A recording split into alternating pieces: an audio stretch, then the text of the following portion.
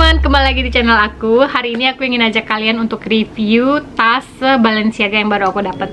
Jadi di vlog yang sebelumnya aku udah ada kasih tunjuk paket yang datang yang buat aku dan aku bilang aku bakal bikin videonya. Nah, kali ini aku ingin bikin videonya. Sebelumnya aku pernah bikin blog uh, yang yang mem, yang bilang kalau aku punya yang bukan, aduh gimana sih mau ngomong. Sebelumnya aku bikin blog uh, unboxing baju yang aku belanja dari dari toko bukan dari toko dari online shop yang namanya Sein gitu deh teman-teman. Nah di situ aku bilang aku beli baju yang bercorak sama dengan anak aku tapi waktu aku unboxing itu yang datang cuman baju anak aku yang baju akunya belum datang. Nah sekarang dia udah datang. Jadi ini dia teman-teman aku pakai hari ini. Coraknya hitam putih gitu terus ini tuh knit gitu. Tapi dia nggak nggak apa nggak gatal-gatal gitu ke badan kita gitu teman-teman. Jadi lumayan lah ya. Lumayan enak bagus. Enak emangnya makan. Oke okay, guys jadi langsung aja kita mau ke topik selanjutnya. Saya emangnya berita ya dunia dalam berita. Oke teman-teman jadi aku pernah cerita sama kalian bukan pernah sih. Di blog sebelumnya aku ada kasih tunjuk aku dapat paket tas. Nah hari ini aku mau review tas yang aku dapat kemarin teman-teman. Nah nama tasnya itu nama tasnya itu nanti bakal aku tulis di judul dan aku bakal tulis di sebelah sini atau sebelah sini atau sebelah sini sebelah sini.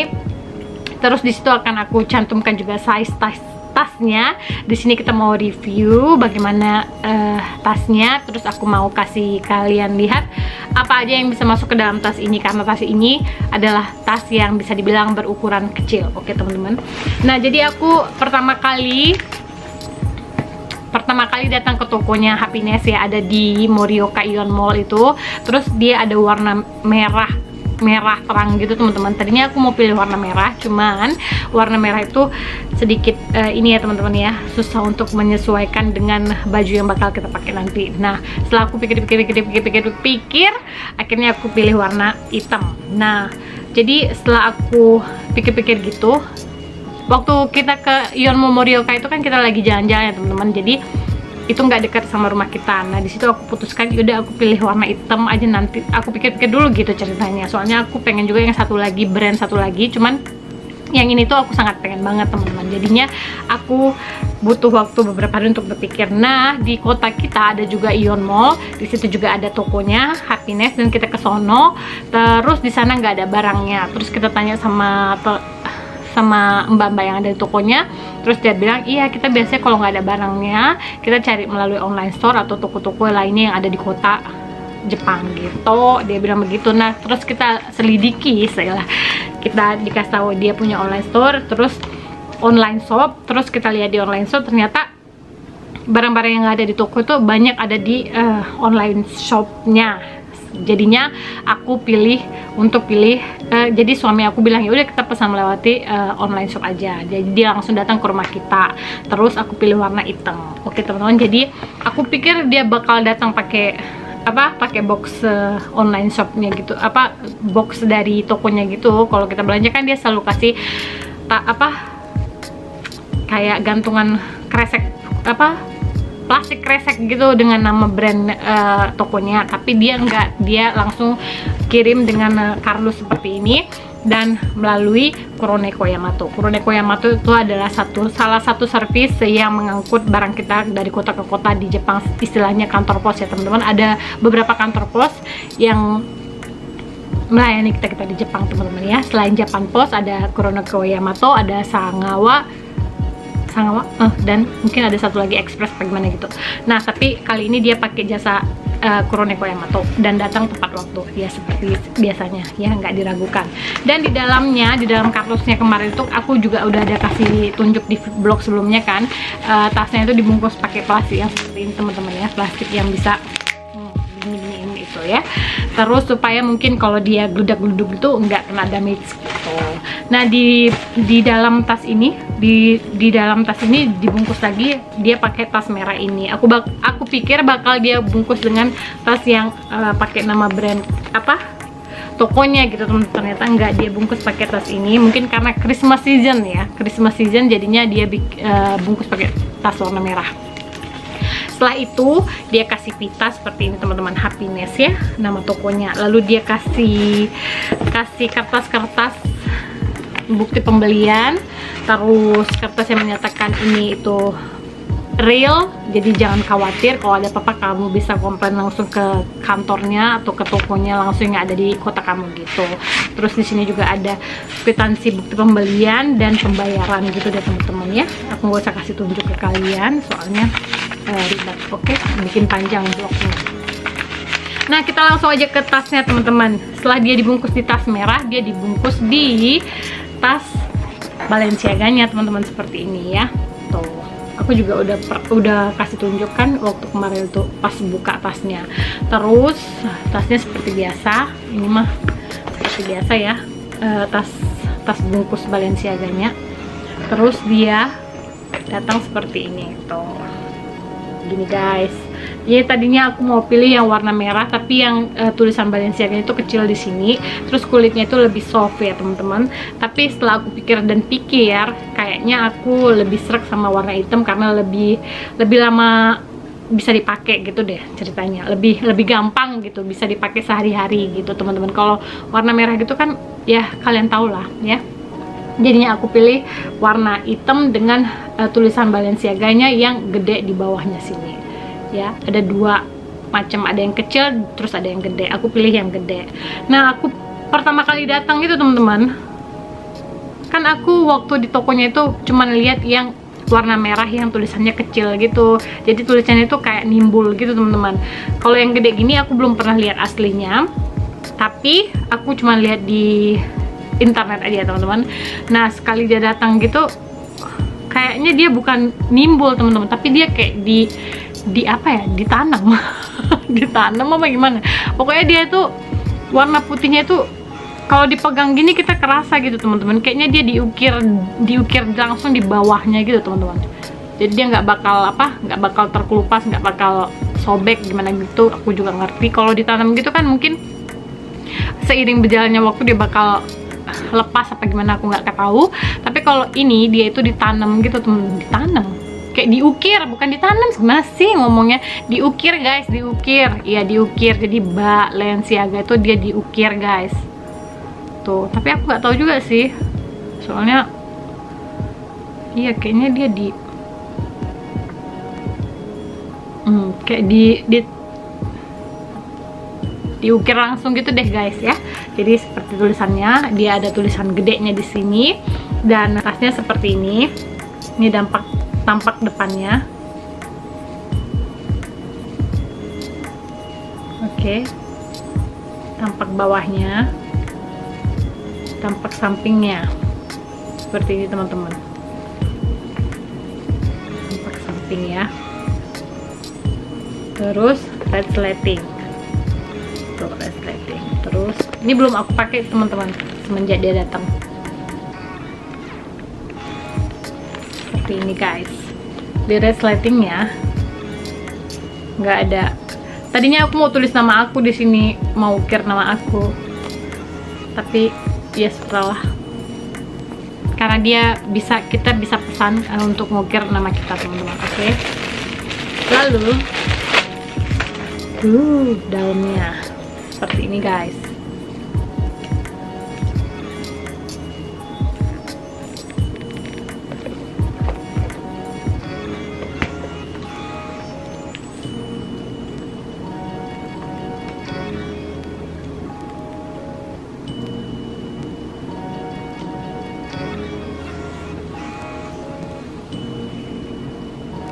oke teman-teman. Seperti ini. Aku belum pakai dan di belakang tampak belakangnya itu seperti ini.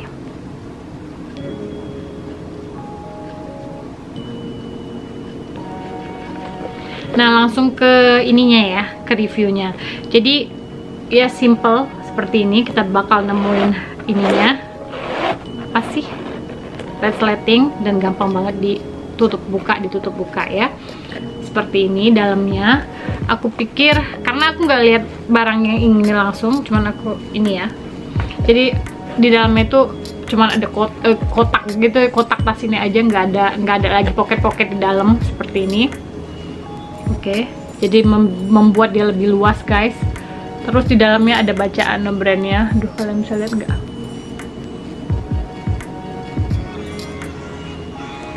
Oke, di sebelah sini nggak ada bacaannya.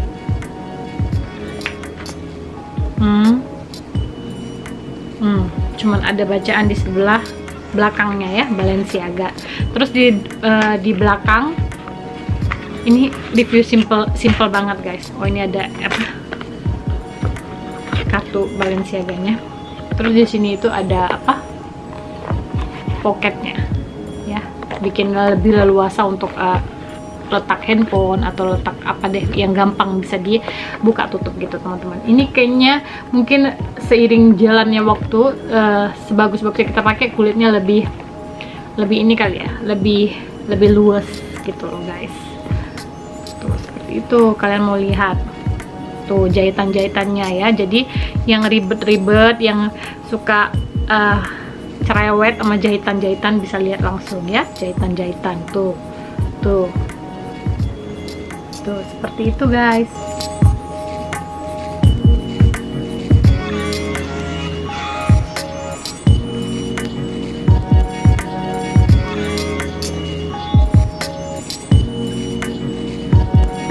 Jadi udah nggak perlu banyak nge-review guys. Dia datang dengan tas kotaknya seperti ini terus eh, dapat tali soldernya gitu. Ini nggak bisa di nggak bisa dibuka-buka tapi bisa di setting panjang pendeknya sesuai selera. Oh aku nyetingnya salah deh. Terus aku bakal mau kasih lihat ini bagian talinya ya teman-teman ya. Seperti ini guys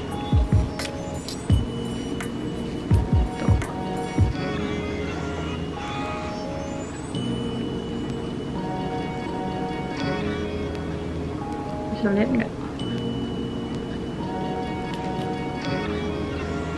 Di sini juga nggak ada bacaan apa-apa. Nggak ada bacaan Balenciaga gitu nggak ada. Iya nggak ada teman-teman. Cuman di resleting ini di resleting ininya aduh nggak bisa tunjukin ke kalian sih. Di resleting ini ini nih nih ini resleting ini di, di baliknya itu ada BB gitu ada Balenciaga gitu. Gimana mau kasih tunjuk ya? Tuh kelihatan nggak ya? Di resleting balik sini tuh. Di sininya tuh. Di sini di sebelah sini di, di belakangnya tuh. Susah banget mau kasih tunjuk. Pokoknya itu bacaannya Balen bukan bacaan. Dia ada lambang BB gitu ya Balenciaga gitu. Terus ya udah seperti itu nggak ada nggak ada nggak ada yang perlu dikasih tahu lagi. Ya oke okay, guys. Jadi aku mau kasih kalian lihat eh, barang-barang uh, apa aja yang bisa masuk ke dalam tas ini. Oke okay, teman-teman sebentar ya. Kita setting dulu ininya guys. Panjang talinya supaya enak gitu loh teman-teman. Ya kayaknya nggak ada bacaan bacaan Balenciaga lagi selain di depan tas di dalam tas bagian belakang terus di resletingnya ada lambang BB nya ya. Terus kayaknya nggak ada lagi deh. Apa? Aku takut aku salah gitu loh guys. Nggak taunya ada kecil di mana gitu kan. Nanti bakal ribet. Di sini juga nggak ada bacaan apa-apa.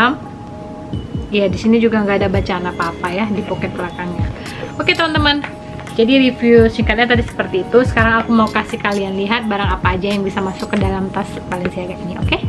pertama-tama seperti biasanya aku punya dompet. Dompet ini ya dompet kecil yang selalu aku pakai buat uh, pakai tas kecil ya dari tahun ke tahun. Jadi pertama-tama kita akan masukin uh, dompetnya. Fit ya teman-teman ke dalam dompetnya kita masukin.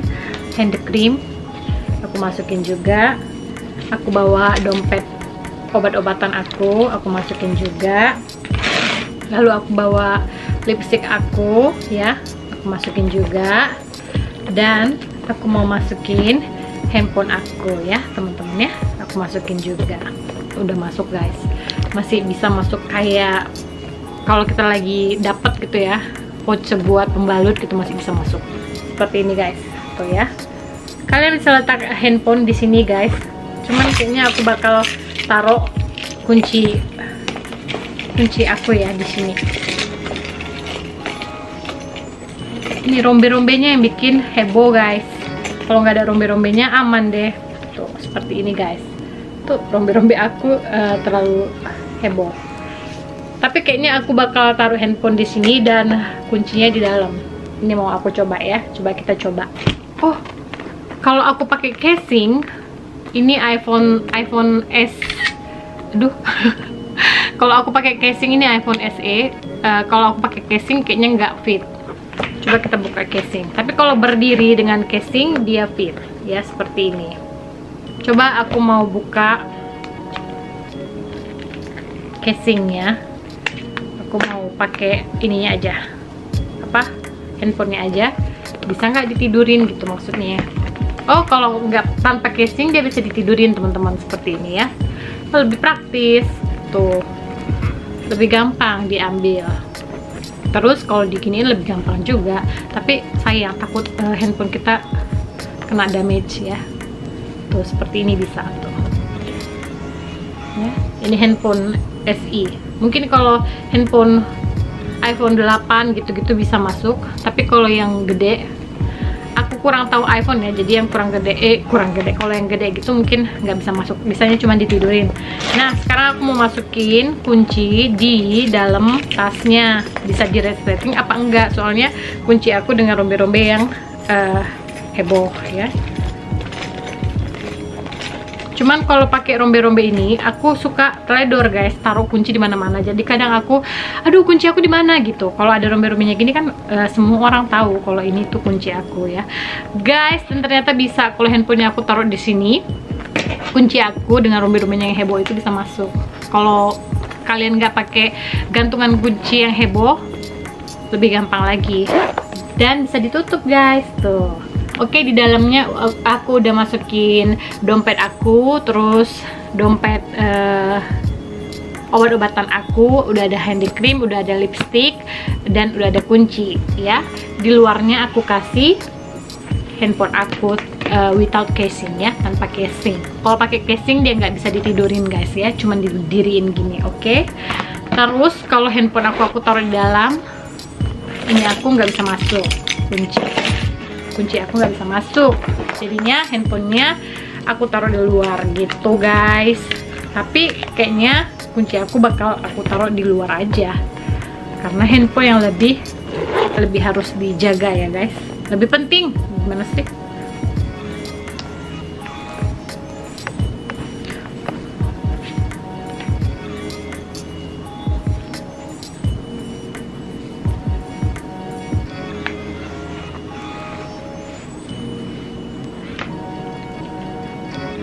teman jadi bagi kalian yang pengen panjangin bisa panjang sampai ke uh, ke pinggang ya.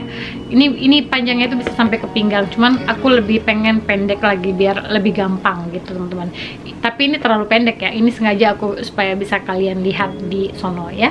Jadinya aku pendekin sependek-pendeknya. Enggak deh pendeknya sedang-sedang. Jadi itulah tadi uh, review singkat tas Balenciaga mungil ini.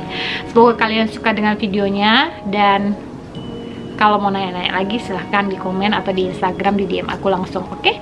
terima kasih sekali lagi teman-teman. Sampai ketemu lagi di vlog berikutnya. Bye bye